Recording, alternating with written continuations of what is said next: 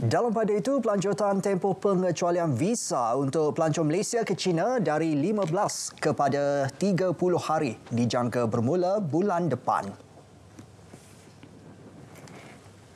Kelulusan ini telah disampaikan ke kepada duta uh, di Beijing dan juga Wisma Putra dan uh, pelaksanaan kepada uh, visa pre selama 30 hari ini uh, akan berkuasa sebaik saja penandatanganan uh, perjanjian di antara uh, uh, Minister of Public Security dan juga Menteri Dalam Negeri di ditandatangani uh, minggu pertama bulan harapan bulan Jun ini ya.